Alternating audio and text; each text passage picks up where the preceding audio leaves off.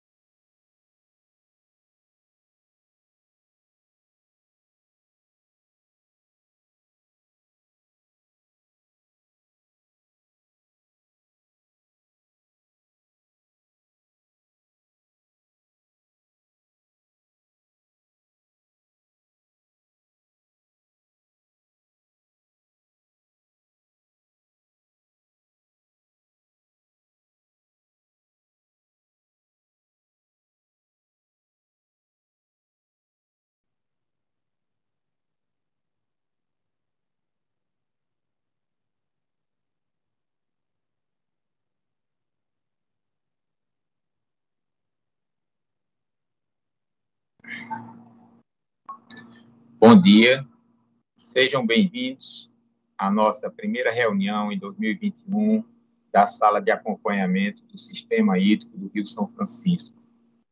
Eu me chamo Joaquim Gondim e sou superintendente de operações e eventos críticos da Agência Nacional de Águas e Saneamento Básico, ANA, e serei responsável por fazer o papel de moderação desta reunião. Desde 2012, a bacia do São Francisco vem enfrentando, ano após ano, valores de precipitações abaixo das médias históricas, que tem resultado em uma redução significativa nas vazões afluentes ao reservatório das hidrelétricas ali localizadas, levando-se aos níveis de armazenamento os mais baixos já registrados e colocando em risco o atendimento contínuo aos usos múltiplos das águas ficou evidente a necessidade de reformulação das condições de operação dos reservatórios, então estabelecidas, com o objetivo de, no longo prazo, aumentar a resiliência da bacia do Rio São Francisco para enfrentamento de períodos de estiagens críticas. Assim, por meio de um processo que contou com a participação dos órgãos gestores de recursos hídricos dos estados da Bacia do São Francisco, foi emitida em 4 de dezembro de 2017 a Resolução ANA 2081, que estabeleceu novas condições de operação do sistema hídrico do Rio São Francisco. Sistema esse compreendido pelo reservatório de Três Marias, Sobradinho, Itaparica, Mochotó, Complexo de Paulo Afonso e Xingó. Uma vez que as condições de armazenamento eram críticas quando da publicação da resolução, as novas condições de operação entraram em vigor em 1 de maio de 2019, após a emissão de um comunicado por parte da ANA. Essa é a nossa primeira reunião feita e acompanhamento da sala feita de maneira virtual, com transmissão ao vivo pelo canal Ana no YouTube. O objetivo é agora é aumentar ainda mais a transparência do processo e possibilitar que mais pessoas tenham acesso à gestão participativa dos recursos hídricos. A dinâmica da reunião permanece a mesma. Após as apresentações, os participantes que desejarem ter fala usam a ferramenta com o ícone da mãozinha, que daremos a oportunidade, de fala para todos. Assim como as outras reuniões da sala de acompanhamento, as apresentações e vídeos na íntegra dessa reunião estarão disponíveis na playlist da Ana no YouTube. A reunião de hoje terá como pauta os seguintes tópicos: a apresentação do Centro Nacional de Monitoramento e Alerta de Desastres Naturais, CEMADEM, acerca do monitoramento, previsões e projeções climáticas para a bacia do Rio São Francisco. Uma segunda apresentação de avaliação das condições hidrológicas e de armazenamento dos reservatórios da bacia do São Francisco, a ser realizada pelo Operador Nacional do Sistema Elétrico, ONS. E a terceira parte da reunião, nós teremos assuntos gerais e encaminhamentos.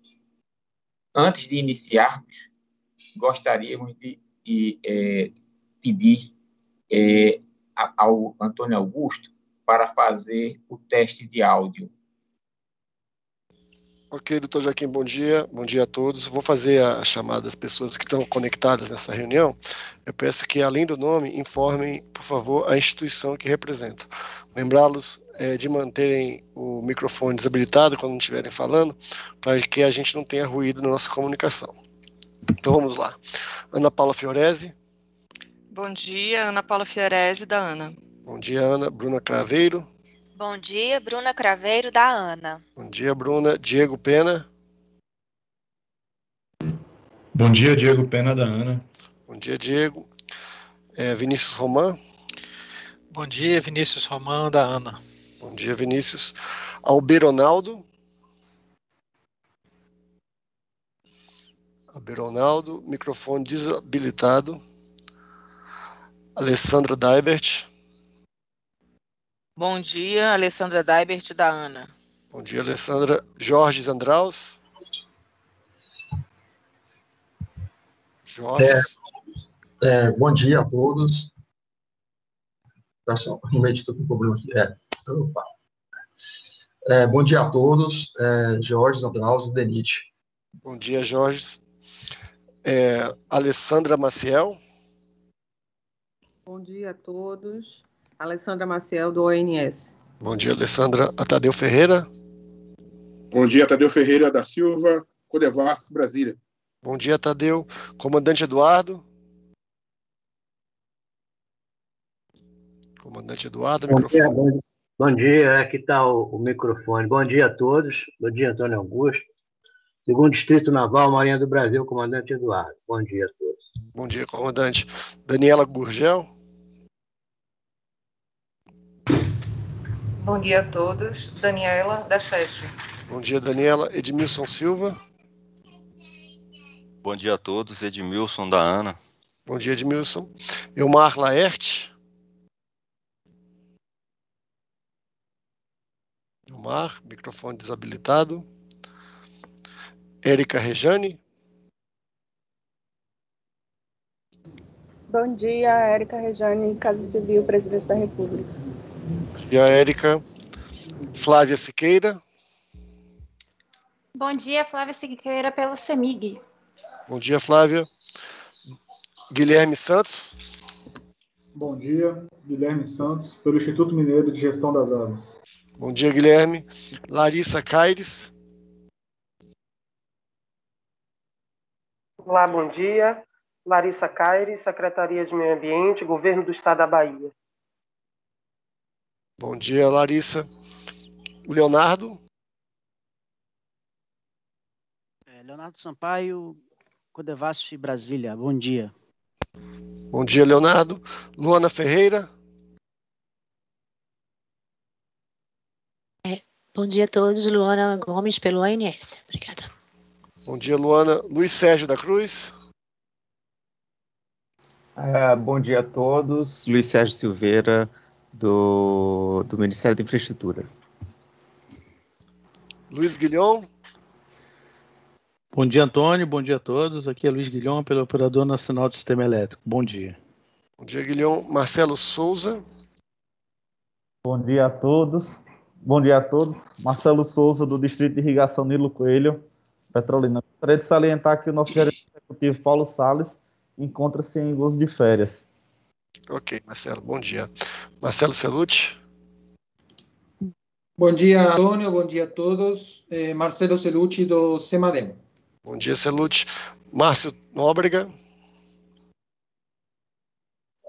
Bom dia a todos, Márcio Nóbrega da ANA. Bom, bom dia, dia bom trabalho. Marcos Freitas. Bom dia, Marcos Freitas da ANA. Bom dia, Marcos. Maria de Fátima. Bom dia, doutor Joaquim. Bom dia, Antônio Carlos. Bom dia a todos. Maria de Fátima Martinez, Codevasf. Bom dia, Maria de Fátima. Mariana Sampaio. Bom dia, Mariana Sampaio, da Agência Nacional de Energia Elétrica. Bom dia, Mariana. Marlia. Bom dia, Marlia, do Ministério de Minas e Energia. Bom dia, Marlia. Miguel Arcanjo. Bom dia a todos. Miguel Arcanjo, Chesf. Bom dia, Miguel. Mônica Freire. Bom dia a todos. Mônica Freire, Casa Civil, Governo do Estado da Bahia. Bom dia, Mônica. Patrícia Taquei.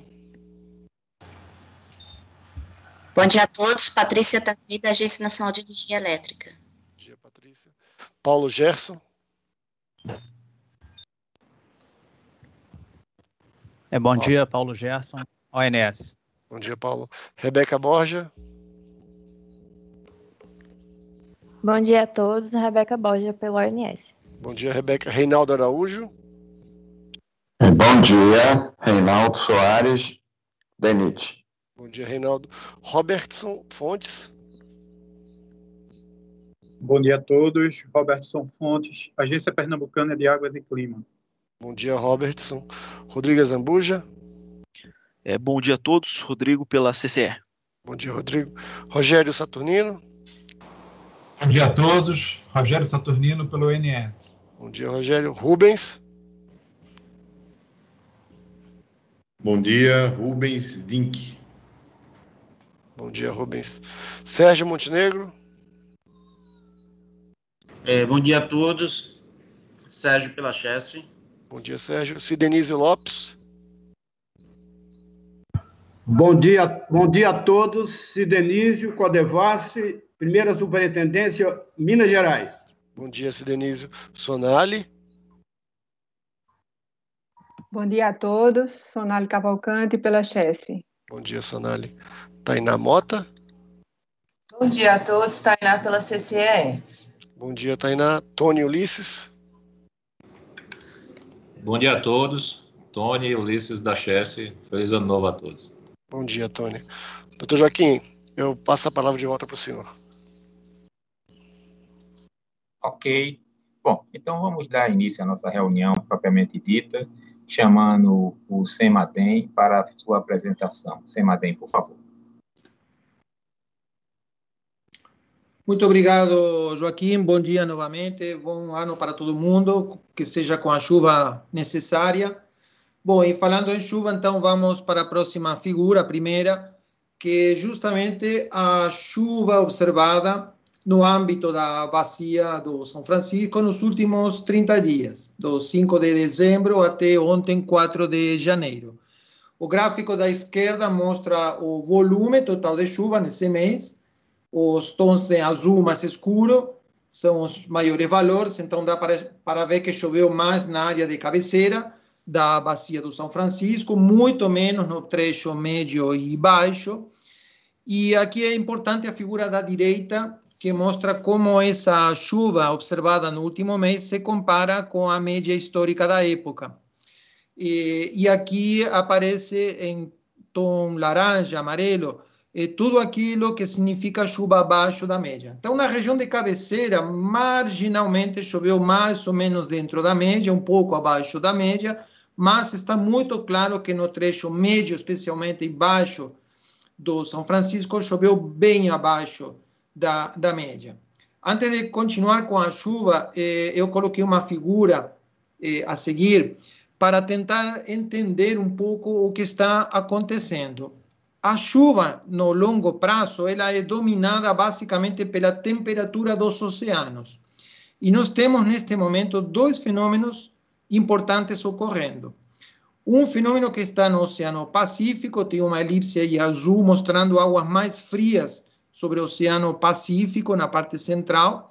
Esse é o fenômeno do Laninha, que está atuando mais ou menos desde o mês de outubro, novembro, ou seja, desde o início da estação chuvosa e que tem enfraquecido um pouco nas últimas semanas. O fenômeno do Laninha, né, ele normalmente causa pouca chuva na região sul e favorece as chuvas na região nordeste. Mas no Oceano Atlântico, nós temos outro fenômeno bastante conhecido pelo pessoal que mora no Nordeste, chamado de dipolo do Atlântico, né? eh, que não é outra coisa que a comparação da temperatura do mar eh, ao norte e ao sul do Equador.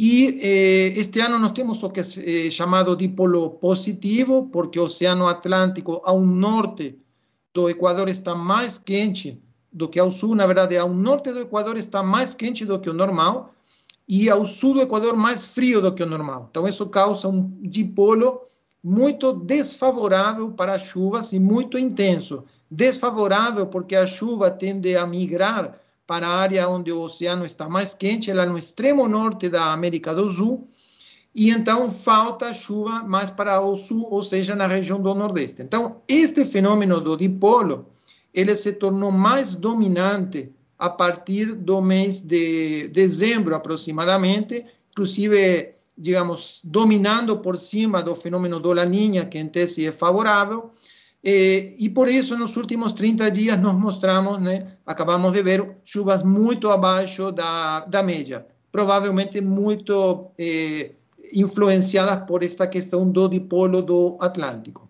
Vamos para a próxima figura, que é a chuva para um período maior, para o ano hidrológico, ou seja, desde 1 de outubro E dá para ver que se a gente considera desde o início do, da estação chuvosa, a situação é ligeiramente diferente.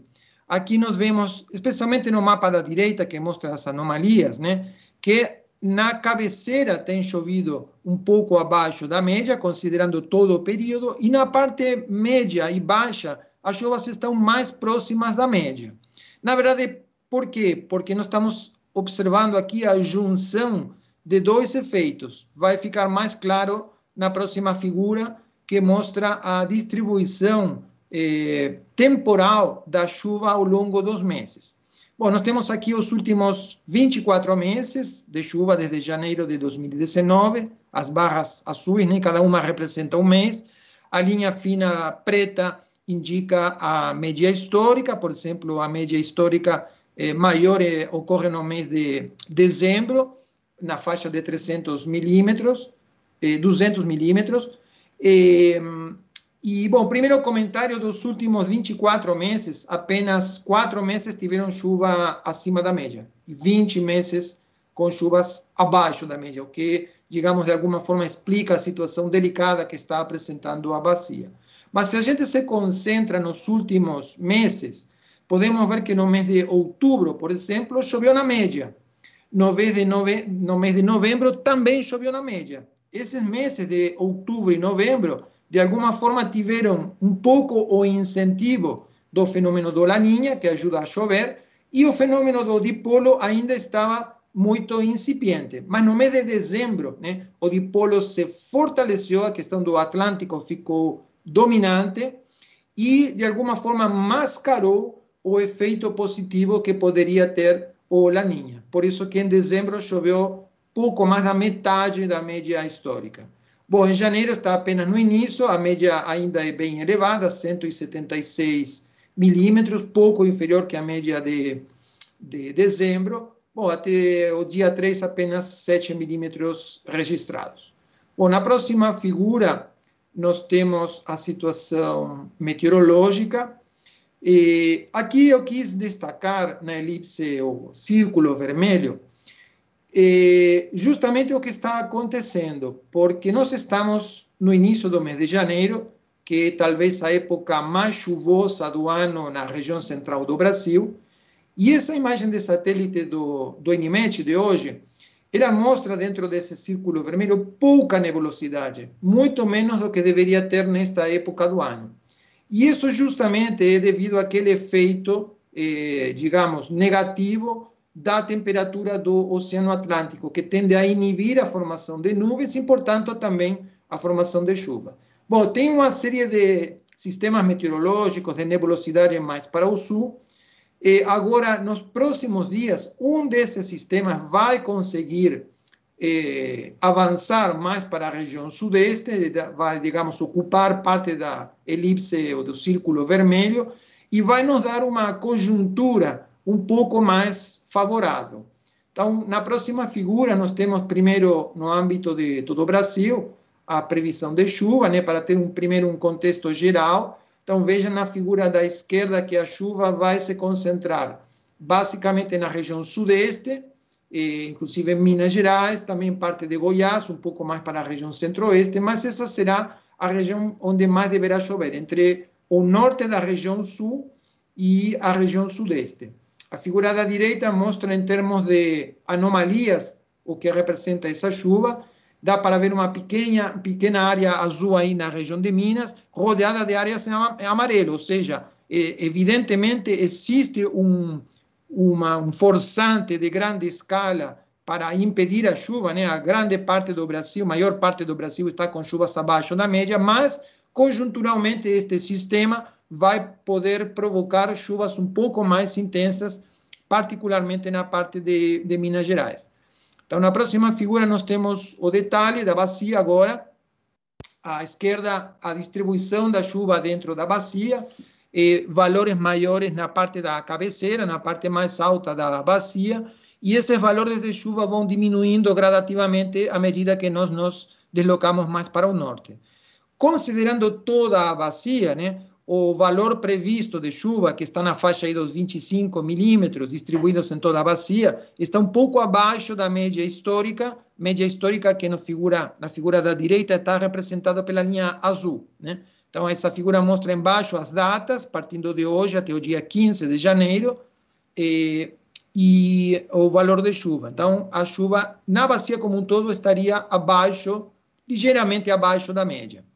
Na próxima figura, nós temos o trecho de Sobradinho.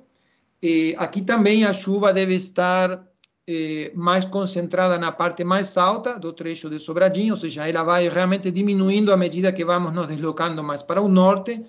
Aqui o valor previsto para uma semana é o número do centro que está na figura da direita, na faixa aí de 35 milímetros, próximo ligeiramente abaixo da, da média para esta época. Essa média é a média da bacia e na época. E na próxima figura nós temos a parte mais alta da bacia, o trecho de Três Marias. Aqui é onde a previsão é um pouco mais otimista, né? Aquele sistema deve é, abranger toda a extensão da bacia de Três Marias. E nós temos uma previsão aqui que está acima da média da época, acima da linha azul. Contudo, o modelo que nós utilizamos, modelo GFS, modelo americano, ele costuma superestimar a chuva no trecho de Três Marias, na verdade, Minas Gerais como um todo. Então, é provável que esse valor de 80 milímetros para uma semana, 116 para 10 dias, não seja totalmente atingido. Eu diria que aqui a previsão mais provável, qualitativamente, é de chuva na média ou um pouco acima da média.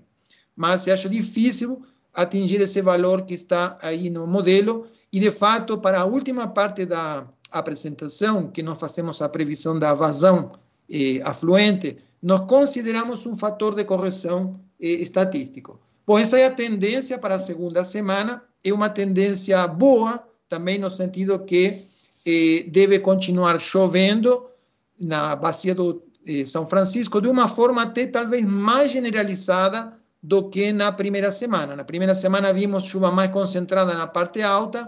Neste caso, na segunda semana, os maiores volumes também estariam eh, mais elevados na, no trecho de cabeceira, Três Marias, mas seriam mais abrangentes em toda a bacia, provavelmente com valores um pouco acima da média. Então, se a gente juntar os próximos 15 dias de uma forma geral, na próxima figura, nós temos, como falávamos, uma conjuntura é, boa, né, com expectativa de chuva um pouco acima da média no trecho de cabeceira, de Três Marias, e de uma chuva mais ou menos dentro da média na bacia como um todo. Então, digamos, nós estamos num momento desfavorável das chuvas, inclusive nessa figura das duas semanas dá para ver como a área amarela predomina na maior parte do Brasil, só que por conta de alguns sistemas meteorológicos que vão conseguir se posicionar no lugar correto, essa chuva nas duas semanas próximas estará, diria, no mínimo dentro da média histórica. Bom, até aí as boas notícias. Eh, na próxima figura nós temos uma tentativa de ver os cenários mais para frente, lembrando que essas previsões têm que ser interpretadas, primeiro, qualitativamente, regionalmente, não adianta olhar eh, o detalhe da bacia e que tem uma confiabilidade muito limitada. Contudo, eu acho que o resultado aqui é relativamente claro. A figura da, de cima é para o período 19 a 25 de janeiro, a de baixo para 26 de janeiro a 1 de fevereiro, ou seja, estamos abrangendo todo o mês de janeiro.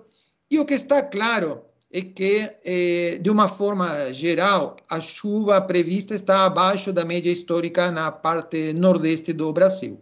Provavelmente com valores um pouco melhores na parte alta da, da bacia, mas certamente com valores abaixo da média no trecho médio e baixo. Então, a previsão não é muito animadora, eh, não é nada animadora, de fato, para a segunda quinzena de janeiro.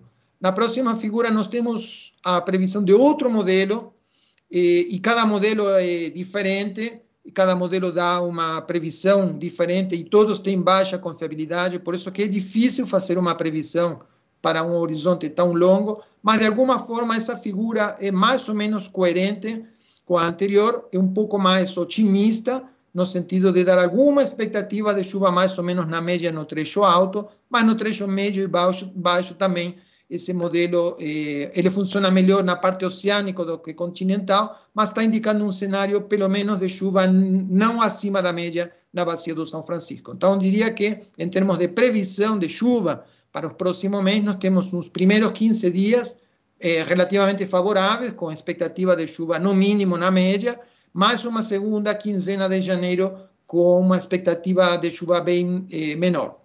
Lembrando que depois, mês de fevereiro e março, já a chuva tende a decair. Bom, eh, por favor, a próxima figura faz uma, um diagnóstico um pouco mais específico da bacia de Três Marias. Na parte de cima, nós temos agora a chuva observada eh, no trecho de Três Marias eh, outubro um pouquinho acima da média, novembro e dezembro abaixo da média, 77 da média histórica, 77% da média histórica choveu no mês de dezembro. E em termos de, de vazão, também o valor está eh, abaixo da, da média, em torno de 60% da, da MLT. A próxima figura faz uma previsão da vazão incidente a Três Marias, utilizando a chuva eh, observada, que é a parte preta, e depois a chuva prevista pelo modelo GFS. Esse modelo tem 30 membros, então ele gera também 30 membros de vazão. A linha vermelha que está embaixo indica a média dessas previsões, há uma dispersão bem razoável. Eh, Destaco que a maior fonte de erro desse tipo de previsão é, sem dúvida, a, o erro do modelo meteorológico, né, o, o erro na previsão da chuva, mas o modelo, de uma forma geral, está indicando que nos próximos 10 dias a vazão deve aumentar ligeiramente em função das chuvas, no mínimo na média, e, bom, pode chegar ao valor de 863, sendo essa uma média dos próximos 10 dias, só que a média vai ir aumentando eh, e vai ser maior no final deste período que nós estamos considerando. Bom, e no último slide da minha parte, nós tentamos contribuir com uma informação técnica né, sobre o possível cenário futuro para um horizonte maior, de janeiro a, a março. Então, aqui, na verdade, nós utilizamos as previsões anteriores né, de, de chuva, vazão, e isso é até o dia 13 de janeiro, e a partir do dia 14 de janeiro é considerada a média histórica de chuva. Então, esse, essa contribuição é um pouquinho diferente do, da metodologia que utiliza o ONS, então é mais um elemento, digamos, para levar em conta. Então, o nosso cenário não leva em conta anos particulares de chuva, senão é a série histórica 83-2020, e nós eh, digamos, cenários de chuva dentro, acima ou abaixo da média. Então, o resultado diz que se chover na média de janeiro a março, sistematicamente, a vazão média janeiro-março vai ser apenas 66% da média histórica, ou seja, claramente um viés negativo. Chovendo na média, a vazão estará 66% da média chovendo 25% abaixo da média, sistematicamente, entre janeiro e março, então nós teremos metade da média histórica de janeiro e março. Se chover 25% acima da média de janeiro a março, mesmo assim, a vazão eh, afluente não atingirá 100%, atingirá apenas 85%, podendo encostar, dá para ver aí no, no gráfico, né? Podendo encostar no mês de março a vazão eh, no valor médio. Isso porque a vazão incidente com um cenário de chuva 25% acima se manteria mais ou menos constante ou até um pouco eh, com um ligeiro incremento, enquanto que a média histórica cai em fevereiro e março. Mas a média do período seria apenas 85%. E se chover, como no ano crítico 2013 e 14, nós teríamos apenas 35% da MLT. Então, eh, resumo total da, da obra, nós temos um cenário relativamente bom para os próximos 15 dias, mas é um cenário conjuntural, né, por conta de sistemas meteorológicos que vão ajudar, mas o panorama do médio e longo prazo claramente é bastante delicado. Bom, isso da minha parte, fico à disposição se tiverem perguntas. Obrigado.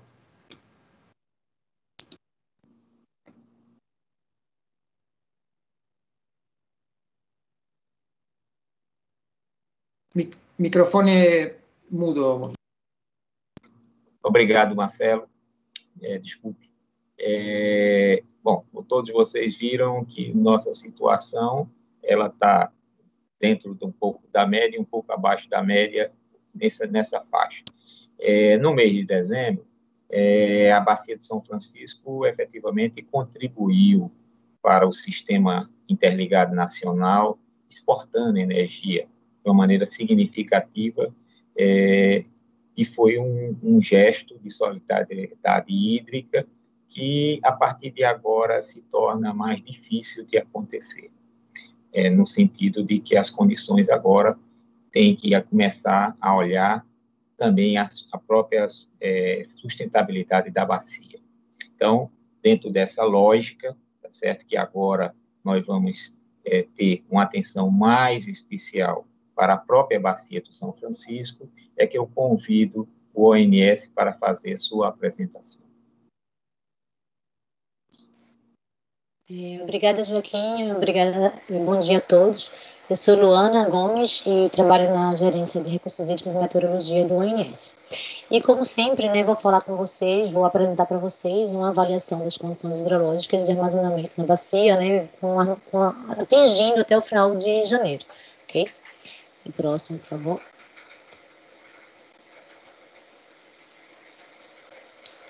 Ah, ainda não passou para mim aqui.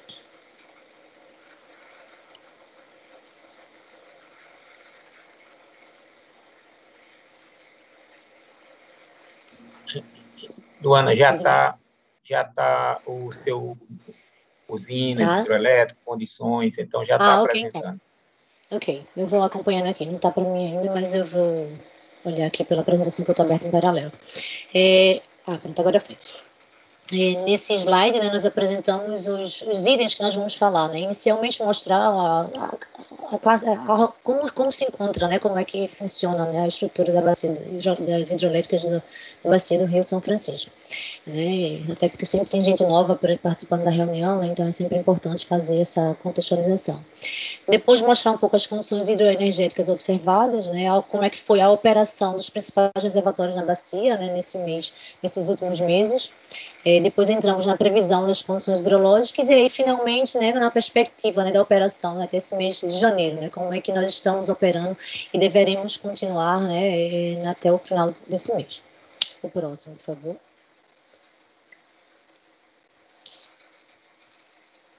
Ok, o próximo.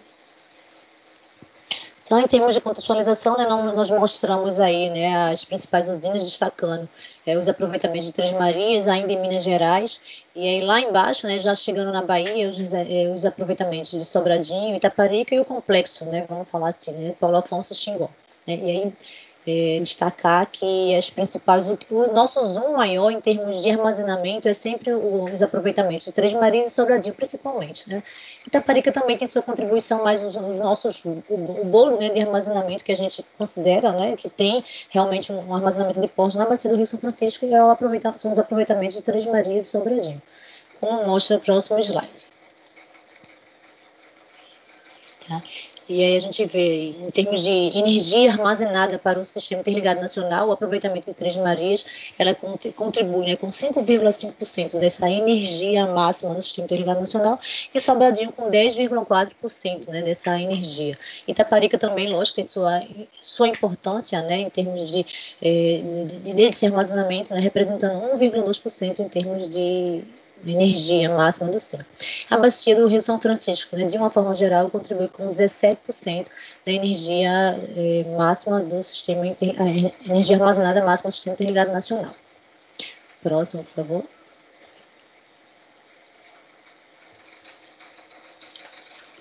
É, em termos de condições hidroenergéticas é, observadas, é, a gente vê aí nesse gráfico né, as principais algumas bacias, né, no caso, a bacia do Rio São Francisco, do Rio Tocantins, né, o subsistema sudeste de uma forma geral, o sistema sul e o subsistema norte. E aí podemos ver que realmente nesse mês de dezembro, né, os, até esse mês de novembro, nós estávamos com o sul numa situação bastante crítica, né, e aí em função de chuva né, verificada, nós eh, tivemos uma melhora vamos falar assim, significativa, né, em termos da energia natural afluente a esse subsistema sul é, olhando todos os outros subsistemas, né, o, o, inclusive a bacia do Tocantins, nesse mês de dezembro, nós aí ficamos bem abaixo da média, né, energia natural afluente a esses subsistemas, né, e a essas bacias, no caso São Francisco é, e Tocantins, nesse mês de dezembro ficou em torno de 48%, 50% da MLT.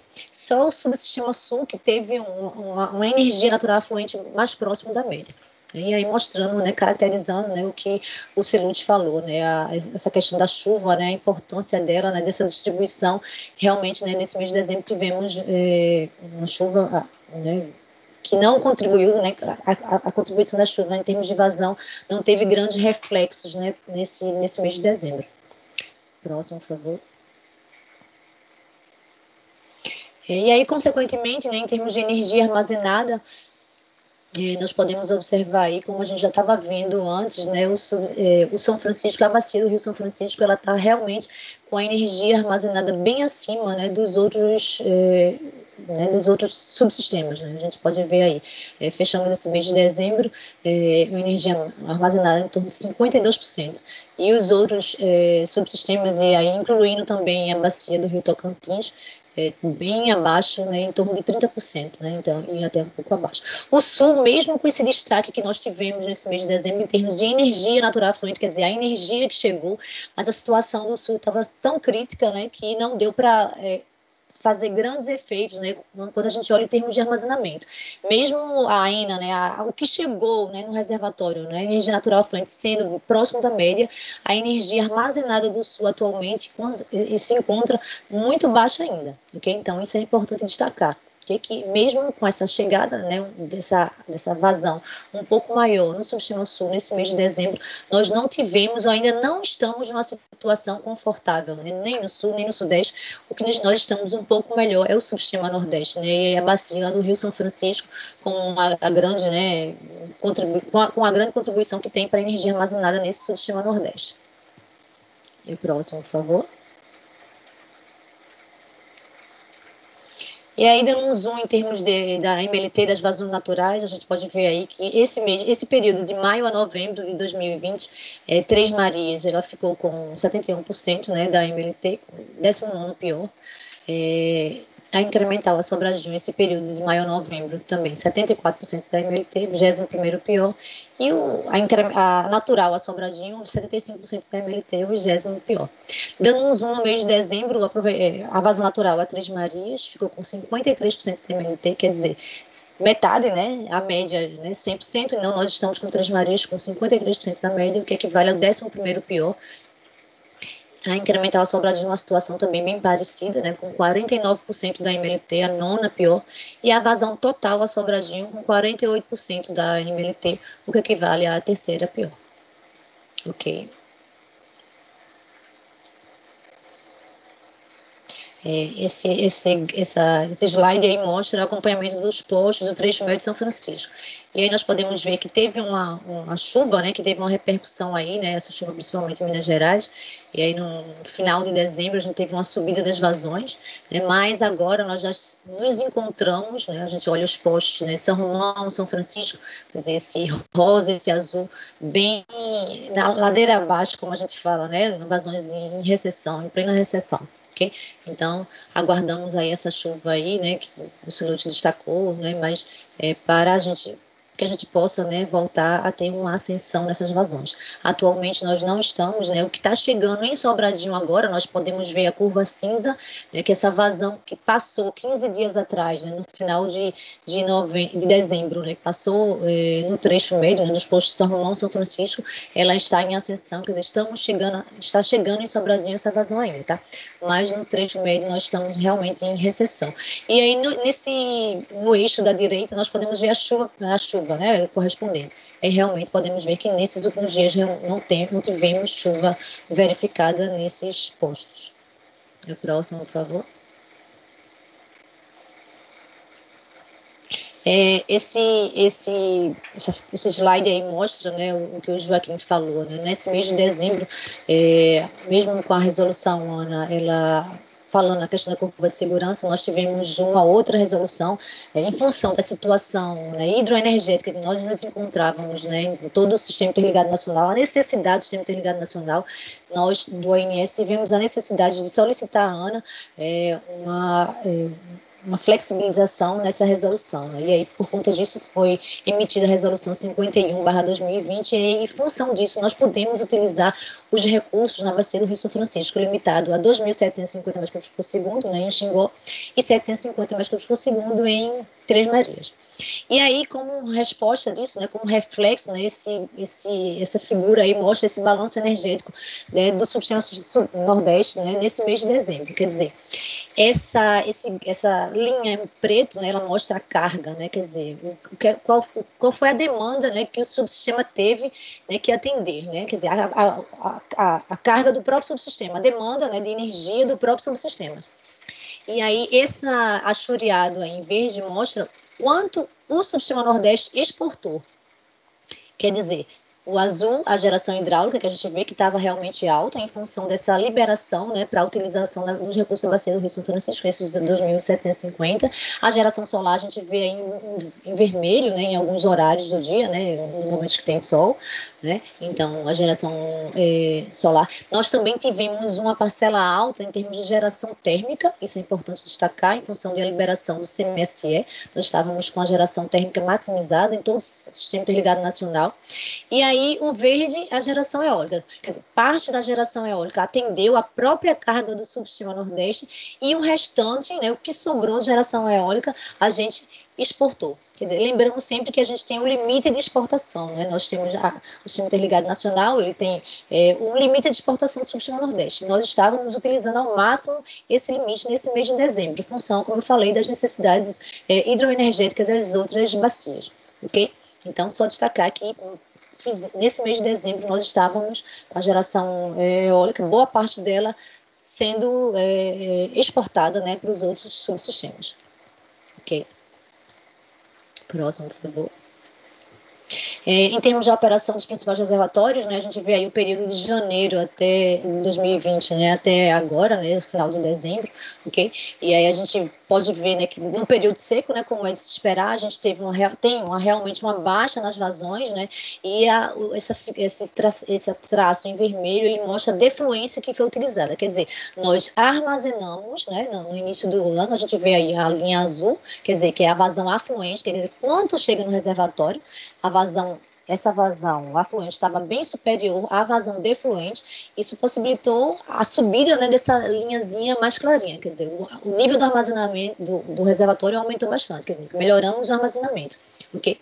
E aí no período seco, as vazões afluentes baixam bastante, e é pra, por isso nós aumentamos a vazão defluente para utilizar o reservatório, né? Que aí é justamente esse o objetivo. A gente enche no período seco, espera-se que a gente sempre consiga fazer isso, né? A gente não, não conseguia isso há muito tempo, né? Lembrando da crise hídrica que a gente passou por vários anos aí, mas esse ano, né, na bacia do Rio São Francisco foi diferente, né? Então nós utilizamos, enchemos o reservatório e passamos o ano todo é, utilizando e, e fechamos esse mês de dezembro em torno de 40% né, de, de VU, né, de armazenamento no reservatório de Três Marias. E aí destacar a utilização né, desses 750 metros por segundo nesse, nesse mês de dezembro, né, que para utilização, para essa geração é, ser, ajudar né, no atendimento à carga do, do sistema interligado de uma forma geral. Ok, próximo, por favor.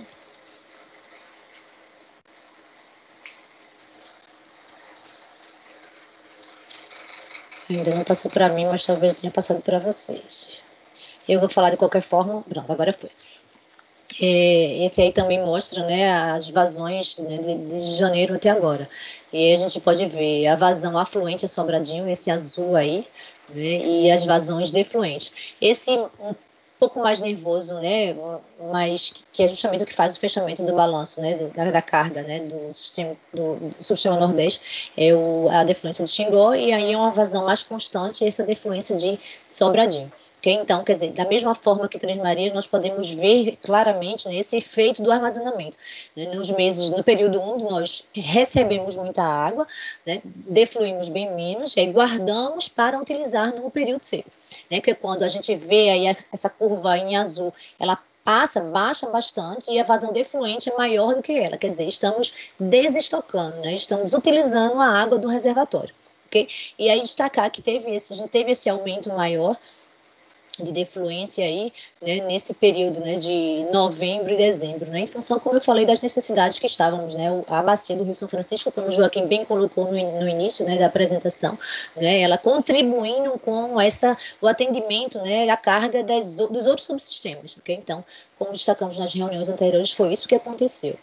Nós, a bacia do Rio os recursos da bacia do Rio São Francisco estavam sendo utilizados para ajudar né, no atendimento da carga dos outros subsistemas. Como historicamente o Nordeste né, já aconteceu no sentido contrário, né? por vários anos o Nordeste era é, importador de energia, né? Então, os outros subsistemas é que ajudavam né, a, a, o atendimento à carga do subsistema Nordeste. Esse ano, em função né, da, da situação hidrológica do São Francisco, foi melhor, e em função também da, do crescimento da geração eólica, nós podemos fazer o contrário, né? nós podemos ajudar o atendimento à carga dos, dos outros subsistemas, que o que não acontecia né, historicamente.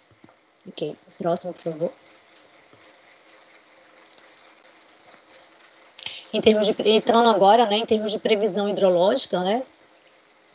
Ok. É, a nossa previsão né, teve início agora no dia 4, né, quer dizer, ontem, né, nós fizemos as simulações ontem, e com final até o janeiro, 31 de janeiro de 2021. Né? E aí, nessas simulações hidrológicas, nós utilizamos o modelo né, SMAP ONS, quer dizer, um modelo SMAP com a, a pequenas adaptações né, para a nossa situação, e destacar que nós utilizamos a chuva, a, chuva prevista né, pelos modelos Zeta e SMWF. Okay? Então, na primeira semana de 4 a, primeira semana operativa, né, de 4 a, a, de janeiro a 8 de janeiro, nós utilizamos essa chuva e a partir do dia 9 até o final do mês nós utilizamos cenários com a chuva histórica. Okay? E também o SMAP, né, o mesmo modelo hidrológico rodado, só que como nós não temos a chuva, né, desses, é, a previsão de chuva desses modelos Zeta e SMWF, nós utilizamos uma chuva histórica né, desses anos, de 2006 a 2019.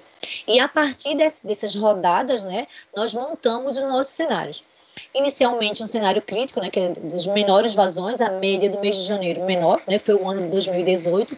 Um outro cenário é, intermediário, né, com as vazões a partir da chuva de 2014 a 2018, e um cenário um pouco mais otimista, vamos dizer assim, né, com a chuva, com a vazão média do período, né, de 2006 a 2019. Lembrando que mais uma vez, nós não utilizamos a vazão verificada de 2006 a 2019 é a chuva verificada nesses anos, que são, a chuva verificada é utilizada no modelo hidrológico, e a partir dessa saída é que nós montamos esses cenários, ok? É importante dizer isso porque o modelo hidrológico, ele parte do verificado, né? Quer dizer, nós não estamos criando, ah, um cenário de 2006 e 2007 foi bem diferente, não. Mas o modelo hidrológico, ele parte do que nós estamos verificando agora, né? Nós temos os primeiros dias de chuva do modelo ETA e SMWF e a partir daí nós continuamos, continuamos e abrimos, abrimos o feixe, né? Quer dizer, montamos os cenários né, que serão simulados. O próximo, por favor. E aí nós podemos ver os cenários que foram estudados, no caso. Né? O pior cenário, a gente vê com uma média de 512 metros cúbicos por segundo, 36% da MLT. É, o cenário intermediário, né, que é esse amarelo aí, 655 metros cúbicos por segundo, 46% da MLT.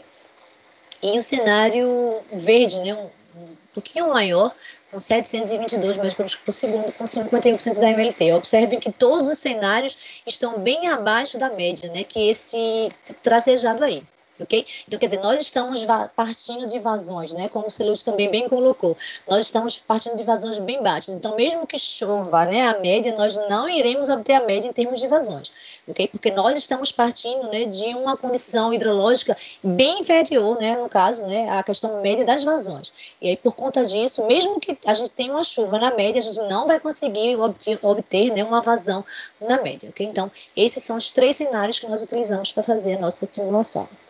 Ok, o próximo para Três Marias.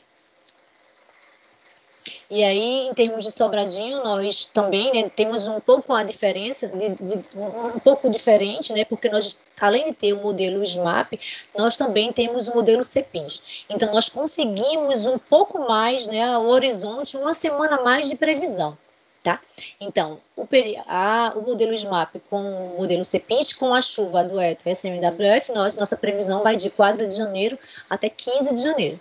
A partir do dia 16, no caso, até 31 de janeiro, nosso cenário é, é também da mesma forma que Três Marias, utilizando o histórico de chuva, também de 2006 a 2019.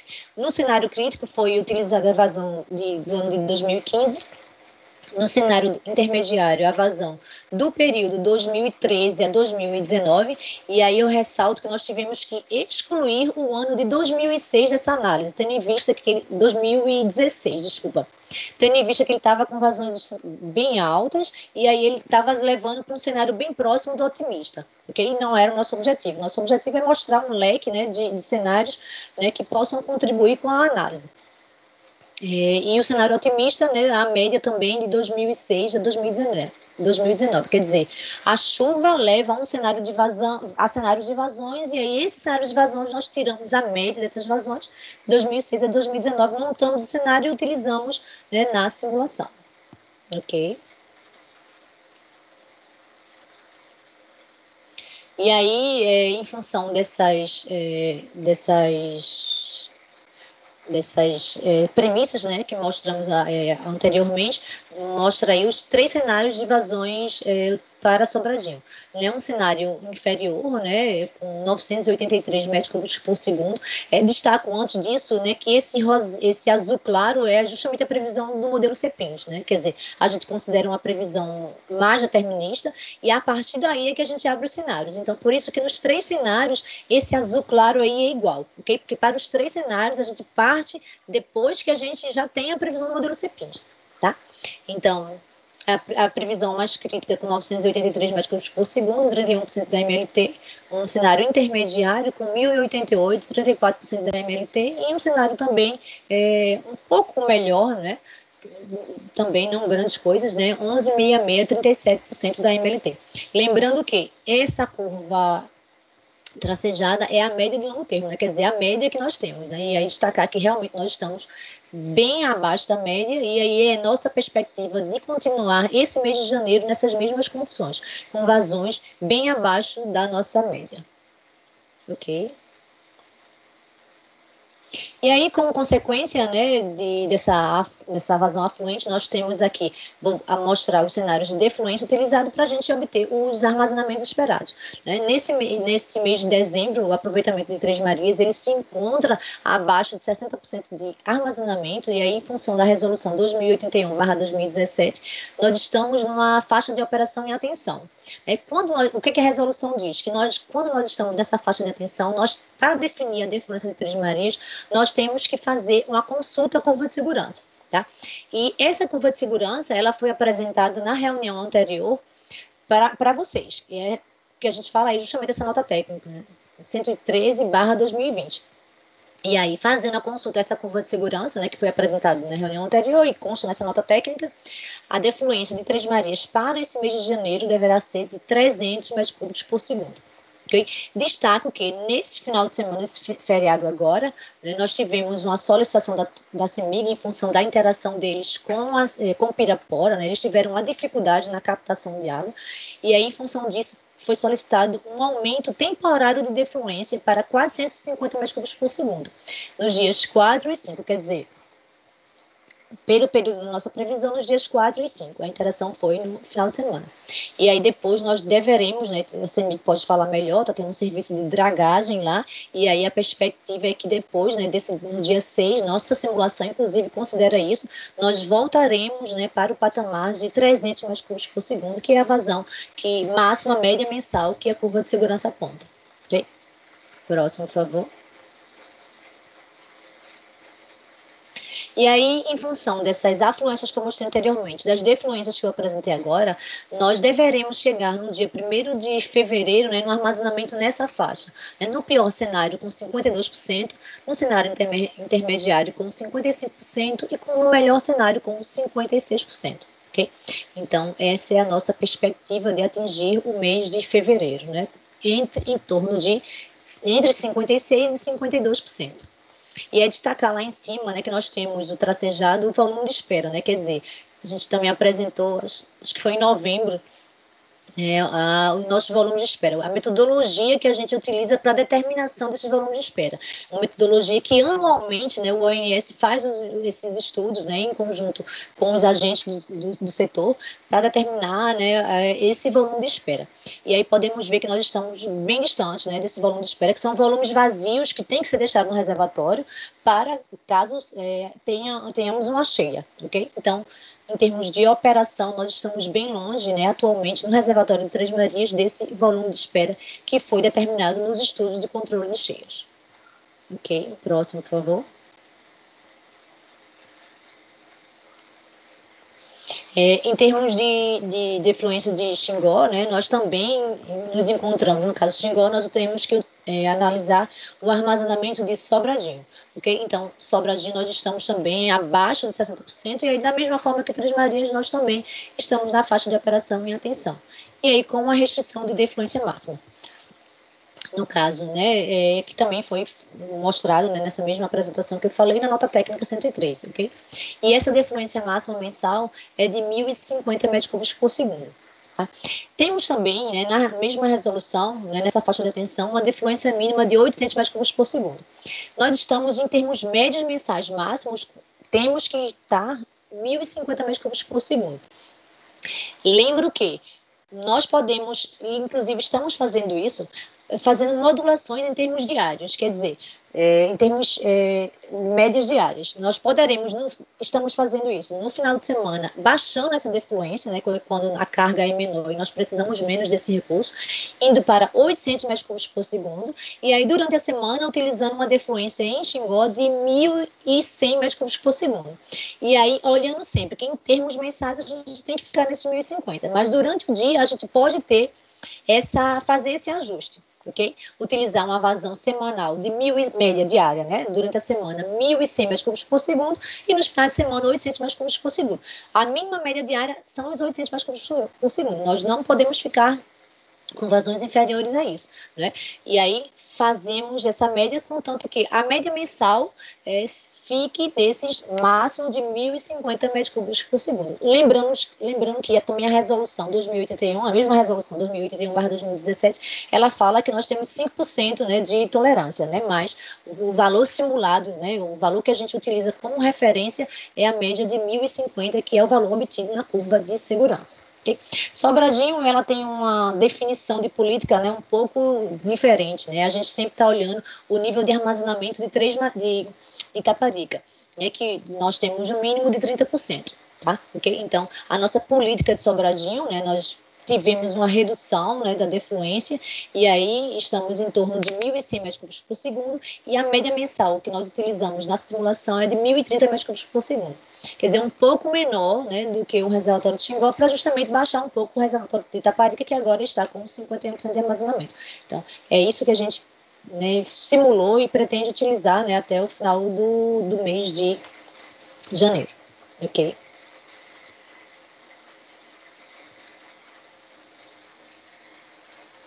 Ainda não passou, mas eu vou olhar aqui o. Pronto, ok. E aí, com essa, com essa política, com essas vazões afluentes que eu mostrei inicialmente, depois com, vazão, com as vazões defluentes, a nossa perspectiva de atingimento no dia 1 de fevereiro é de 48% no pior cenário, 49% no cenário intermediário e 49,7%, né, 50% né, no, no, no, melhor cenário. Quer dizer, em todos os três cenários é, simulados, nós não vemos né, a perspectiva de chegar aos 60%, que é aquele nível né, para a operação normal. Okay? Nós deveremos continuar, pelo menos até o, nesse início de fevereiro, nesse final de janeiro, de fevereiro, nessa faixa de operação em atenção, quer dizer, abaixo de 60% de armazenamento. O próximo, por favor. E aí, olhar é, em termos de equivalente de São Francisco, né, contabilizando. Três Marias, Sobradinho e Itaparica, né, que são os principais reservatórios de bacia, é, nós deveremos é, é chegar a atingir esse mês de fevereiro 49%, Deixa eu ver aqui que ficou clarinho para mim. 49% no pior cenário, 51%, 50,5% no cenário intermediário e 51,3% no melhor cenário. Quer dizer, né, em função do, dessa simulação hidrológica, os três cenários, né, mesmo pegando médias diferentes, análises diferentes, eles estão com armazenamento né, próximo, né, de, em torno de 50% né, de armazenamento, o equivalente São Francisco nesse início de eh, fevereiro. É, era isso que eu tinha para apresentar e fico à disposição. Obrigada. Ok. Bom, é, nós estamos com a questão da aplicação das curvas de segurança, né? É, e tem uma pequena divergência entre nós, depois eu posso é, colocar que é, na nossa avaliação é, é, a data que você tem que considerar é 3 de janeiro, tá? Mas isso a gente vai, depois na sequência, acabada a reunião, nós podemos conversar, ver qual a curva de segurança que tem que ser a mais ajustada para janeiro, tá? Por conta disso que eu estou dizendo que a data de referência é a data do dia 3 de janeiro, que é o primeiro dia útil, tá? Bom, mas é um detalhe que é importante e nós, na sequência é, dessa reunião, ao final, é, nós vamos discutir com a ONS qual o, o valor exato para utilizar, tanto para é, Três Marias quanto para é, Sobradinho, tá? Bom, Joaquim, posso Posso Sim. fazer uma contribuição?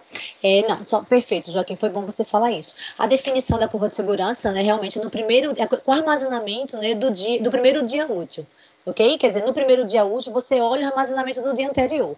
No caso desse ano, a gente, o primeiro dia útil foi no dia 4, no caso, e a gente olha no dia 3. Né? Só o que, que acontece? Né? Nós temos nosso, o, o PMO, né, que a gente fala, o Programa Mensal de Operação, que a gente tem que definir, né, para entrar nos, nos, modelos energéticos, essa defluência. E aí, por conta disso, na semana passada, né, antes do PMO, nós fizemos uma simulação olhando qual seria esse armazenamento no dia 3 de, de janeiro, e a partir daí nós, nós aplicamos né, a curva de segurança e aí fizemos essa definição de política, que seria os 300 mais custos por segundo, né, e os 1.050 metros cúbicos por segundo, ok? Mas nós temos plena consciência, Joaquim, que nós, no primeiro dia útil, que é o dia 4, temos que olhar o armazenamento do dia 3. Ok? Só que como temos o PMO, a entrada nos modelos energéticos, só repetindo, né, só para dar é, ênfase, nós temos que fazer simulações, nós fizemos, inclusive, simulações olhando né, no, no, na, no PMO, qual é que foi semana passada, qual é o armazenamento no dia 3. E a partir daí nós aplicamos a curva de segurança. Fico à disposição, Joaquim. Ok, mas é, a regra é, do, é, do, é, da resolução e não do PMO, tá? Então, isso aí depois a gente vai acertar porque tem aquele 5%, mas a, o valor correto é 1.350, tá? Só para ficar claro que esse é o valor que vai ser adotado pela ANA. É, bom, é, algumas pessoas se incorporaram na reunião é, e eu vou dar oportunidade, até porque é a primeira reunião do ano, é, para essas pessoas também é, se apresentarem, tá certo? E é, eu não saudei no início, porque eu estava esperando que todos chegassem e se incorporassem na reunião. Então, é, primeiro, desejar a todos nós um ano com saúde e que as condições é, econômicas, sociais, tudo, melhorem em relação aos acontecimentos passados. É, então, vou pedir ao Anivaldo, presidente do comitê, que se apresente, já que ele não é, se apresentou na, ao início da reunião. É, bom dia a todos e a todas. É, de fato, eu tive, demorei um pouco para entrar aqui no aplicativo, mas eu saúdo a todos, estou acompanhando e quando chegar a hora, é, se pertinente, vou fazer algumas considerações, sobretudo nessa interrelação entre é, o que está ocorrendo na Bacia do São Francisco e o que está ocorrendo nos outros sistemas regionais do Sistema Interligado Nacional. Acho que, do ponto de vista do sistema São Francisco, as coisas estão transcorrendo como, conforme foi planejado e conquistado desde 2013. E, efetivamente, o que nos preocupa agora vai ser é, a partir de janeiro, e conforme o desempenho nesse período úmido, como vai ser essa interação com os outros subsistemas, principalmente do sul do, e do, sudeste e centro-oeste, é, é, que estão numa situação ainda é, crítica, não sei como se comportarão no período úmido, mas para nós passou a ser cada vez mais é, interessante e necessário é, não só o olhar dentro da nossa bacia, mas, sobretudo, essa interrelação, para que, como disse Joaquim no começo da reunião, é, a gente não traga para a, a, bacia do São Francisco os problemas que se desenrolaram durante a crise. Eu sei que é uma questão muito complexa e tal, mas é em torno de é isso que nos preocupa mais. Como como definir esse equilíbrio numa situação que a gente ainda não tem claramente uma ideia de como serão os meses de janeiro, fevereiro e março, né?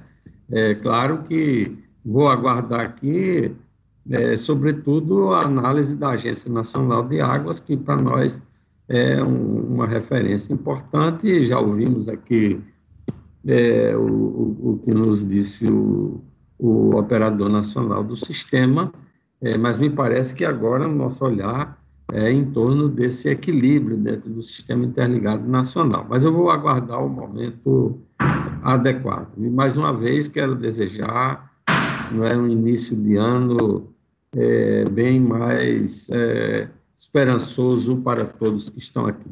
Obrigado. Ok. É, a professora Ivonildo, eu não sei, eu não, não sei se você quer se apresentar agora, professora.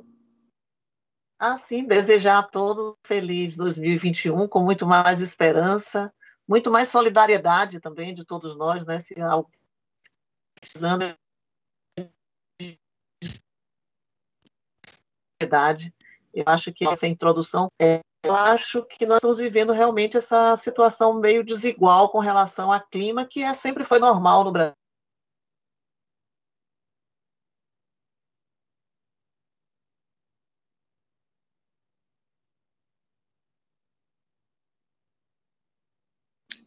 Eu estou com dificuldade de ouvir Ivonilde. Ivonilde.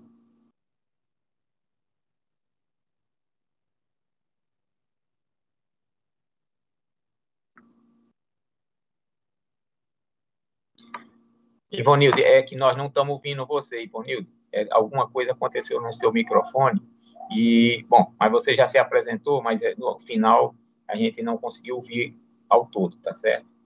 Mas obrigado pela participação. Eu abro para alguém mais que gostaria de se apresentar nesse momento. Alguém, algum convidado dessa reunião gostaria de se apresentar nesse momento, adicionalmente?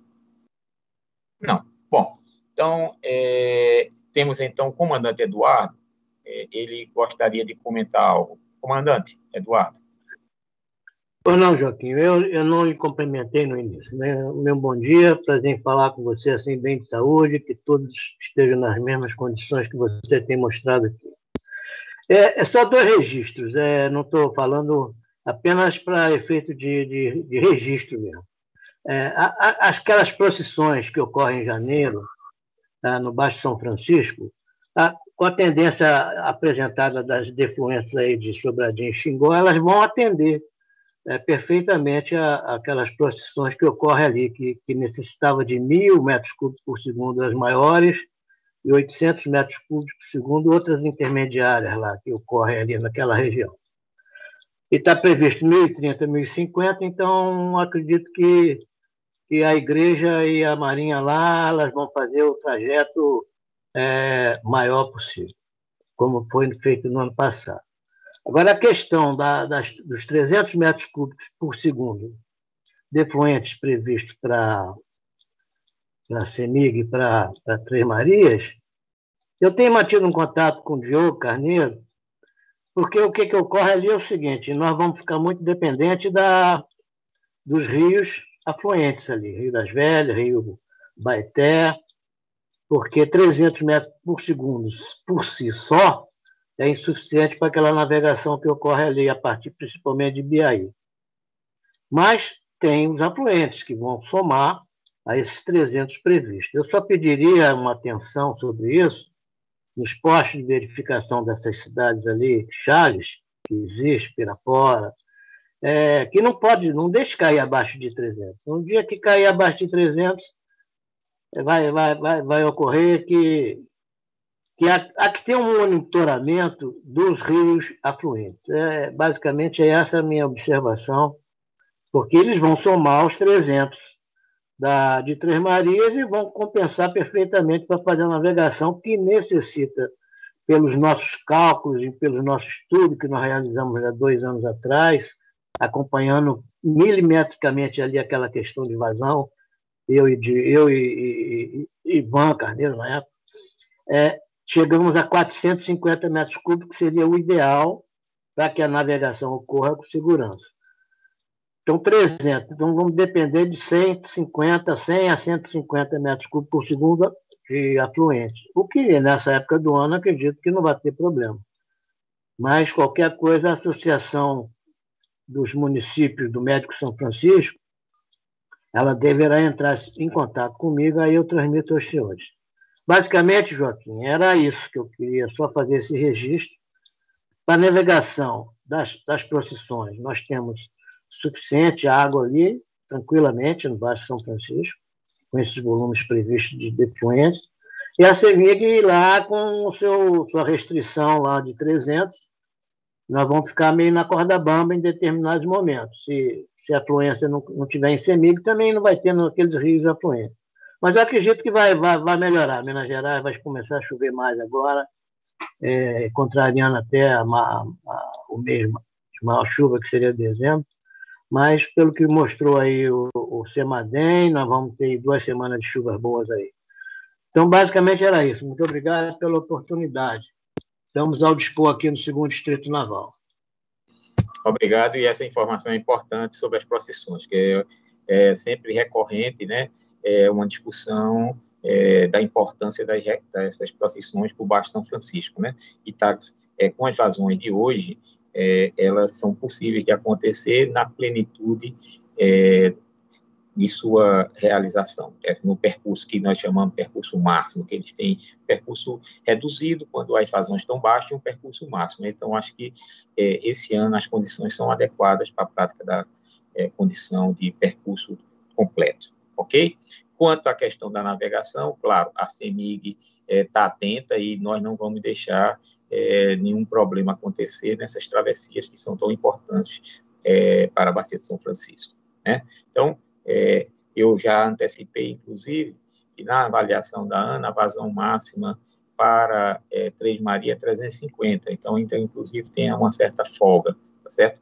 O, o mil, para tranquilizar a, a, a Luana, o 1050, ela pode continuar utilizando porque está dentro da folga dos 5% que a nossa resolução permite. Então, você não tem que alterar a sua programação dentro desse limite dos 5%, que é, é, permitido na nossa nessa, mas não pela curva de segurança, mas pela, pela, pela é, questão da folga que é dada de 50 metros por segundo, tá? Então, é, okay, uma coisa cobra a outra e sem precisar é, você descumprir a nossa resolução, porque não tem dúvida entre resolução e PMO, resolução. Tá? Bom, é, eu agora abro para os estados que queiram participar é, da nossa reunião, fazendo comentários, tá certo? Então, algum estado gostaria de comentar? Minas Gerais, Bahia, algum estado, esse é o momento.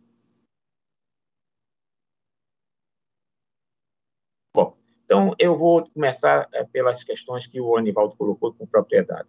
É, todo sistema, e eu vou começar por uma, por uma frase é, que vocês todos que já voaram no avião conhecem.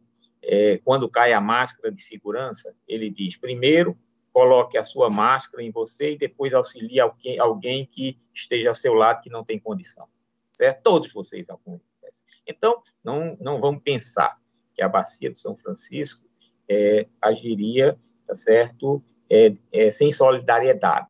Mas, entretanto, também tem restrições de sustentabilidade para a bacia de São Francisco, certo? E essas é, condições de sustentabilidade são vistas na nossa resolução. Então, dito essas palavras iniciais, a posição da Agência Nacional de Águas é seguir a resolução do São Francisco na sua plenitude. Ok, Anivaldo? Então, é, é, vamos vir, é viver o momento de segurança hídrica da bacia, certo? Não quer dizer que numa crise, é, é, numa discussão mais ampla, é, nós podemos é, entrar em algum tipo de entendimento, mas a regra geral é seguir a resolução da ANA, que foi tão discutida e tão debatida entre todos nós, tá certo? Bom, alguém é, gostaria da plateia, de uma maneira mais ampla, de comentar? É, essa é uma abertura que nós estamos dando, tá certo? É, nós temos recebido é, LAIs, LAIs são é, informações, pedido de informações sobre as vazões que são praticadas por Xingó, tá certo? E tendo a Chessia aqui presente, eu, é, embora é, essas coisas vão ser respondidas por escrito, mas eu vou dar a oportunidade à Chessia de explicar quais são as limitações entre vazões diárias e vazões instantâneas e a rampa de, de subida e rampa de descida das suas vazões. E, e, e por qual documento ela se rege. Então, chefe, se vocês pudessem explicar porque isso são perguntas que estão sendo formuladas à Agência Nacional por é, Lei de Acesso à Informação. Ok? Então, chefe.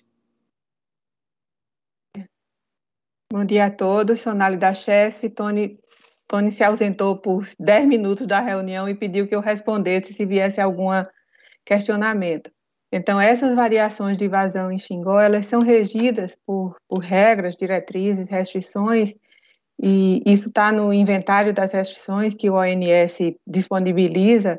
Então, você pode variar em uma hora cerca de 300 metros cúbicos por segundo e até 800 metros por segundo em 10 horas. Né?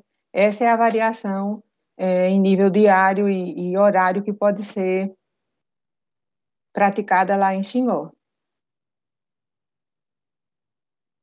Ok, Sonali. Okay. É, é não, ok, é porque vocês devem também é, é, receber é, solicitações Sim. de informações e nós estamos recebendo também, estamos é, providenciando a resposta. Mas isso. é bom que, como essa reunião é ampla e fica gravada, tá certo? Que isso fique público para todos, que existe uma regra, tá certo? Eu não sei se a origem dela é a própria licença de operação, a LO é, de Xingó, eu acho que sim, né? Aqui, que a regra, que, que essa regra de de vazão, taxa de variação, tudo deve ter. Horária não, não, Joaquim. Essa, essa a LO Xingó, ela não desce nesse nível de detalhe, não, para variação horária e variação ao longo do dia.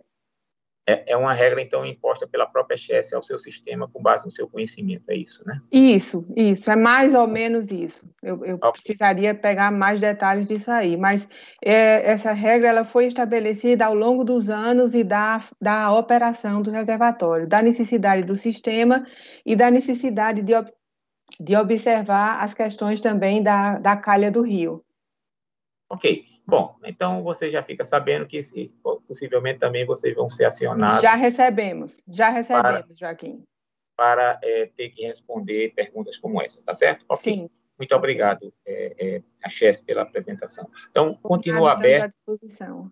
Obrigado, é, continua aberto é, a palavra franqueada para todos é, sobre o, o, a situação. Quer dizer, pela apresentação que foi colocada pelo ONS, nós vamos ter uma leve, uma leve recuperação no mês de janeiro, mas não uma recuperação assim que leve, por exemplo, ao sistema voltar a operar acima de 60%. E por que o sistema uh, operar acima de 60% é importante? Porque acima de 60%, o ONS tem uma condição de operação diferenciada é, com relação a, É, eu vi que Ivonildo quer falar, tá? Ivonildo, é, por favor, naquele primeiro momento, nós ouvimos pouco você, Bonito, porque alguma coisa aconteceu com seu som. Se você pudesse é, testar agora. É, eu estou com um problema de conexão hoje aqui. Eu espero que seja possível me ouvir agora. Tanto que eu já. Joaquim, eu até escrevi para ser bem breve. É, você ficou de discutir ou, ou de alguma forma, trazer o assunto, nesta primeira reunião do ano, é a questão dos pulsos de cheia previsto na Resolução 2081.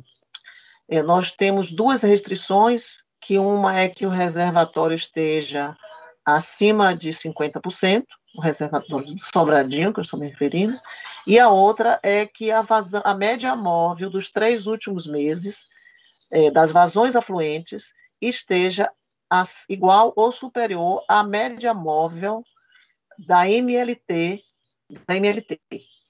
E quanto a isso, eu também não consegui assistir a reunião toda por, por problema da conexão, mas eu acho que o que estava, o que foi apresentado pelo ONS e também, não, eu acho que foi pelo ONS e Semadem, eu acho que aquela expectativa que nós tínhamos, nós, quando eu digo, inclusive o IBAMA, que solicitou a participação das universidades e pesquisadores, etc., e o comitê, para discutir a possibilidade de termos essas cheias agora em fevereiro, é, ficou bem suspensa. Eu não sei o que é que você me diz com relação a isso. Há uma possibilidade, as condições hoje permitem que a gente pense é que fevereiro de 2021 teremos esses pulsos de cheia, ou as condições que hoje se apresentam, tanto no reservatório quanto nas vazões afluentes, é, se inviabilizam ou estão abaixo do que não atendem às restrições, desculpe, não atendem às restrições que estão colocadas na resolução e teríamos que pensar em um, outra, em um outro período. É, como eu disse para você, é, nós estávamos pensando em esperar janeiro, para ver as condições efetivas do sistema, né? Então, é, nós temos aí, pela apresentação que foi feita pelo ONS, é, os 50% e, e, e possivelmente não serão alcançados em janeiro ainda, né? Então, essa coisa fica para fevereiro. E o que fica na pendência é aquela questão das MLT, o cálculo das MLT certo? Então, o que a Ana ficou de é, estudar, e é isso que vamos fazer nessas próximas duas semanas, é qual o, a interpretação que nós vamos dar para a interpretação da MLT, tá certo? Porque a MLT que pode ser que é, pode ser a MLT do período completo, que o que é o período completo é o dados de é, 31 até agora, são os 90 anos, ou a MLT do período que os reservatórios foram construídos, tá certo? Então, são, são, são é, interpretações possíveis de ser feitas, que lá não está escrito que a MLT do setor elétrico de 31 a 90 a, a 2019, tá certo? É a média de longo termo do com, com, sujeito a algum tipo de interpretação do que seria essa média, tá certo? O próprio ONS, quando faz as contas aqui, utiliza uma, uma média de 10 anos, tá certo? Então, é, é, alguma coisa como essa. Então, é possível, sim, a, nós interpretarmos é, dentro de um bom senso, tá certo? O que é que está lá e, e aclararmos em algum tipo de documento, tá certo? Então, esse é o ponto. Agora, eu não poderia dizer para você hoje que já existe alguma decisão sobre isso, porque essa decisão, como eu disse, primeiro ela vai ser consensada, certo? consensada internamente, tecnicamente, e depois aberta para uma discussão com os estados e com todo mundo. Né? Mas nós esperamos que nos próximos 15 dias nós tenhamos alguns elementos já para discutir. Mas dificilmente, você já viu que em janeiro é, é, teremos condições. Então, a discussão está na interpretação da MLT, tá certo? Da, da MLT não, das referências para os cursos, tá certo? É isso que é o ponto. É só um ponto a mais, né?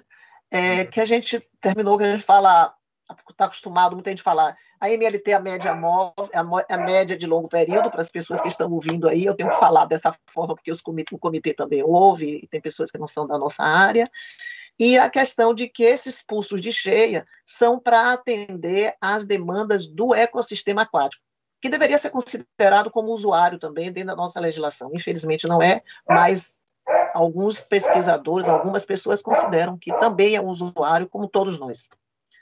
Ok, okay muito então obrigado. É eu estou falando com você que nós vamos nos debruçar sobre esse assunto, tá certo? É que é, foi o compromisso que nós assumimos no ano passado e em janeiro é, reestudar esse assunto dentro de uma lógica é, que fosse palpável é, é, praticar, tá certo? É por conta de que é, tem que ser feito é, os pulsos e foram feitos foram colocados parâmetros, mas não foram explicitados a maneira de calcular esses parâmetros de uma maneira clara, tá certo? Então a gente vai aclarar isso que é, é, eu acho que é o papel da agência, mas isso vai ser feito em consenso com todos, é, com o IBAMA e com vocês é, que fazem parte do comitê e os estados que beneficiados por esse por esse mecanismo, né? Bom, alguém mais gostaria de comentar nessa parte da reunião? Porque essa nossa reunião tem um pedido feito por algumas pessoas e aí eu já coloco em discussão aqui, é que a reunião, em vez de começar às 10, pudesse começar às 9h30, para não entrar tanto no período de almoço e de, é, das repartições públicas também, o expediente normalmente acaba meio-dia, tá certo? Algumas das nossas reuniões é, normalmente acabam antes de meio-dia, mas pode ser que em algum momento tenha necessidade de um, um assunto mais é, mais importante para ser discutido, e essa se prolonga depois do meio-dia, e tem algum tipo de é, questionamento, no sentido de que não é muito é, é, interessante para essas pessoas que, que têm essa, essa questão de órgãos públicos, tudo, embora nesse momento nós estamos na pandemia, né, é, e nós estamos, há muitas pessoas em trabalho remoto, né. Bom, então eu, eu antecipo que a Ana não tem problema pela Ana é, de acolher esse pedido das reuniões começarem às 9h30, tá certo? Então, era, era importante que todos tenham esse conhecimento sobre essa questão de termos é, é, 9h30 como uma data, como um horário para reuniões. É, eu tenho aqui, é, entre as pessoas, tem uma pessoa levantada, e é o Roberto Robertson Fontes da PAC. É, é, é, não, Roberto não. Deixa eu ver quem é que está com a mão levantada aqui. Peraí. Tem uma pessoa com a mão levantada. Marcelo Souza. É Marcelo. Oh, desculpe, Marcelo, é porque hum. eu estou com. Marcelo, se você puder comentar nesse momento, é a sua vez. Bom dia a todos. Eu falo aqui do Distrito de Irrigação Nilo Coelho. Estão me ouvindo direitinho? Sim, por favor, Marcelo. É, eu falo aqui do Distrito de Irrigação Nilo Coelho. Chega ao, aos nossos ouvidos é, uma solicitação de alguns produtores ribeirinhos é, em relação a essa variação da defluência que ocorre aqui em Sobradinho. Que eles apontam que essa variação, às vezes, de 1.300 para 2.600, tem gerado alguns transtornos para eles. Então, é só um, um apontamento mesmo de nós aqui da região, que se quando fosse ocorrer isso, se teria a possibilidade de é, que essa variação na defluência fosse um pouco mais suavizada, posso dizer assim a palavra, é, que a gente chega ao nosso conhecimento e aí eu exponho aqui essa situação que caso voltem a, a fazer esse comentário, o que é que eu poderia é, de forma assim mais simples ou imediata de explicar para eles. Ok, foi uma boa pergunta, Marcelo. É, eu até reforço também. É, claro, nós estamos no período chuvoso e no período chuvoso é, as defluências também têm é, é, contribuições laterais de rios e tudo mais. Mas as grandes variações que aconteceram, basicamente, foram para equalização do reservatório de Itaparica, com níveis que é previsto na nossa resolução de 30%. E, conforme você colocou, é, a operação entre Sobradinho e Itaparica está sendo feita por cursos e, de alguma maneira, é, aumenta, diminui, aumenta, diminui, né? Então, eu gostaria que a, que a ONS pudesse se explicar, que eu também concordo com você. Ok, Joaquim. É, como você falou né, anteriormente, né, a Sonali explicou a questão da, das restrições que nós temos para Xingó, né, que é a Sonali bem colocou lá, os 300 e os 800 metros por segundo são as restrições que nós temos declaradas em Xingó. No caso de Sobradinho, essa variação é de 1.000 metros por segundo, né, a declarada né, oficialmente no, no inventário de restrições, é, em condições de cheia, e 500 metros, metros cúbicos por segundo né, em condições normais. É, atualmente, né, nós tivemos uma variação muito grande, uma necessidade de variação grande, em função do, do que fizemos no mês de dezembro, que nós estávamos com a defluência de 2.750 metros cúbicos por segundo, em dezembro, como eu falei, e aí passamos em janeiro é, para 1.050 metros por segundo. E aí, para sair desse patamar para o patamar de 1.050, nós tivemos realmente que praticar é, defluências, é, uma redução de defluências. E aí, não sabendo toda a problemática que existe no Rio, nós não praticamos essa taxa que nós tínhamos, né, vamos falar assim, né, em termos de inventário, de 500 metros por segundo. Em, em consonância com a CHESF, né, em reuniões com a CHESF, nós utilizamos uma defluência de uma taxa de 300 metros por segundo. Tá? E aí eu lembro que essa variação, essa, essa, essa informação foi divulgada em fax com pelo menos 48 horas de antecedência, é, e aí foi isso que, que praticamos, Joaquim. É, a operação de, Itaparica, ela segue mais ou menos isso também, né? Nós tivemos que fazer essa... Itaparica está muito associado a Xingó, então a defluência de Itaparica está muito associada à defluência de Xingó, e também nós tivemos essa variação né, em função dessa mudança de política. E aí, sempre lembrando que nós temos como restrições em Itaparica o nível mínimo de 30% e o nível máximo atualmente, que é aquele nível de controle de cheias, que é 56%. E aí nós estamos Agora vai ficar mais constante, né, em função de nós não temos uma variação muito grande, a mínima e a máxima. A mínima é, atualmente que nós podemos praticar é 800 metros por segundo e a máxima 1050. Então, esse mês de janeiro e provavelmente fevereiro também, nós estamos com a defluência bem flat. Né? O que tivemos nos últimos dias foi realmente essa variação em função da política, né? de 2.750 em dezembro para 1.050 em janeiro, e, em janeiro. E aí isso refletiu em toda a cascata. Jusante é, de, de Sobradinho, isso refletiu também nos níveis de Taparica e também Jusante de, de Xingó. Né? Então foi, foi esse conjunto que nós tivemos agora. Que nós, em janeiro, reforçando, nós não teremos né, essa, essa mudança brusca né, de patamares. O que nós estamos fazendo agora é baixar um pouco a defluência de Sobradinho, de Sobradinho né, um pouco abaixo do que vai sair em Xingó para poder aliviar, vamos falar assim, né, um pouco o nível de Itaparica, que atualmente está com 51%, e nós queremos baixar um pouco em função, né, podemos chegar até 56%, que esse é o nível de, né, de controle cheios, mas nós queremos deixar um, um pouco abaixo desse 51% para ter mais tranquilidade na operação. Agora, sempre olhando né, esse, o mínimo de 30%, né, o que queremos é em torno de 40% a 45%. Fico okay, à disposição, é, Joaquim. É, é, é só para deixar claro, não vou ficar olhando o passado, eu acho que esse passado tem suas, tem suas origens, seus problemas, mas, é, por exemplo, a gente chegou em Itaparica sem necessidade, próximo de novo a 30%, certo? Num determinado momento que, que motivou a abrir o reservatório de novo de Sobradinho com vazão a mais, tá certo? Sem necessidade, porque não teria nenhum tipo de restrição de ter o, o Sobradinho aberto antes com a vazão menor, tá certo? Mas eu não vou ficar é, é, sendo tutor do ONS, mas que houve a operação, houve. Tá certo? Que Sobradinho chegou, Itaparica chegou a 30% é, sem necessidade é, nos últimos finalzinho de dezembro, tá certo? Bom, mas é um detalhe que vocês é, vão de analisar internamente e depois é, terem as explicações adequadas para dar para a sociedade. É, bom, é, dito essas palavras, eu só reforço que o número é mil, viu? É, é, nós vamos aceitar 1.050 pela, pela questão da taxa de variação, mas a curva de segurança é a curva de segurança de mil, tá? Que fique claro. Perfeito, isso, tá? Ok. Bom, alguém mais gostaria de comentar?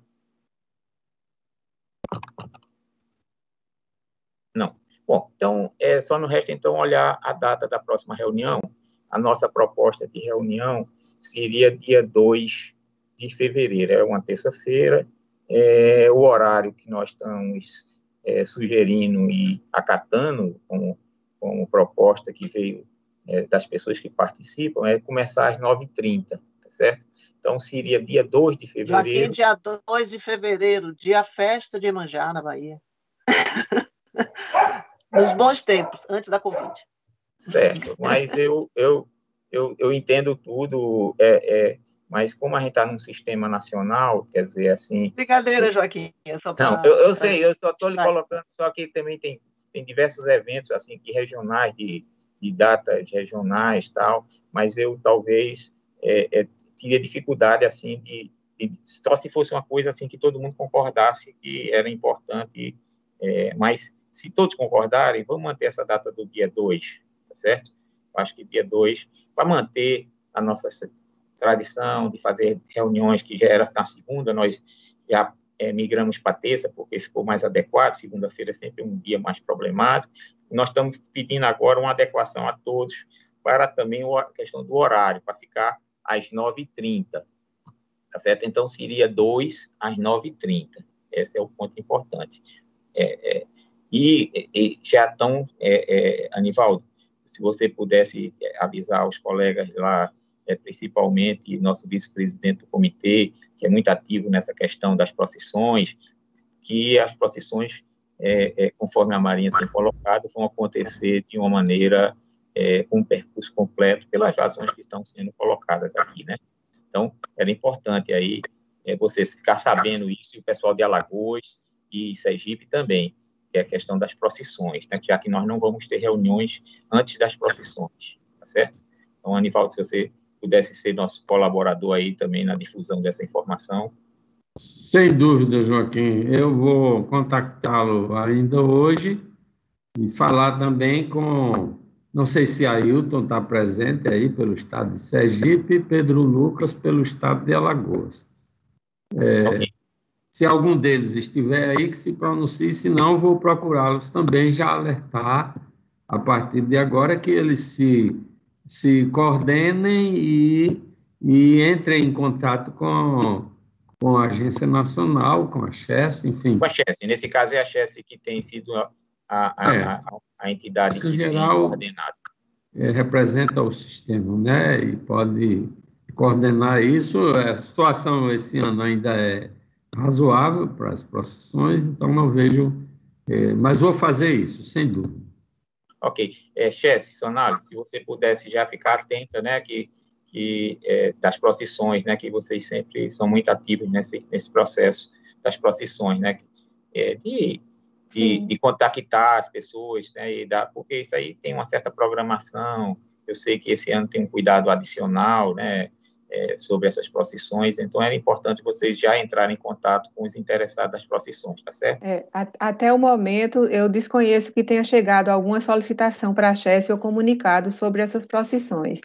E aí eu externo uma dúvida também sobre a realização das procissões nesse momento de pandemia. É, não sei aí, como é que, como é que vocês estão vendo. a questão da saúde pública e não, é, recursos é. hídricos, vamos dar as condições necessárias. É. A, até o momento, assim, eu desconheço que tenha chegado alguma solicitação. Geralmente, eles enviam alguma solicitação, mas até o momento eu desconheço que tenha chegado alguma solicitação para ah. essa questão das procissões. É, nós temos que, eu acho que todos queremos fazer as procissões com o maior cuidado possível, mas vamos dar também queremos dar a maior segurança possível do campo de vista hídrico, né, para não ter problemas hídricos com as procissões. Agora, os outros problemas que são inerentes a, a uma aglomeração, aí sim, eu acho que as autoridades competentes vão olhar, talvez, essa demora que vocês não terem recebido ainda os pedidos das, das procissões, tá certo? Mas, okay. por parte do, do setor de recursos hídricos, nós estamos aqui vendo que é, não vai ter impedimento em termos de níveis de água. É isso que era importante aqui, tá certo?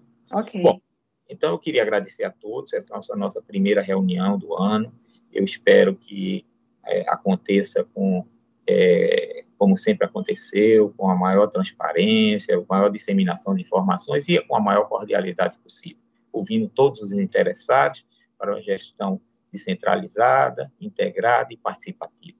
Eu acho que esse é o, é o caminho para uma boa gestão de recursos hídricos. Então, muito obrigado a todos e dou por encerrada essa reunião. Obrigada.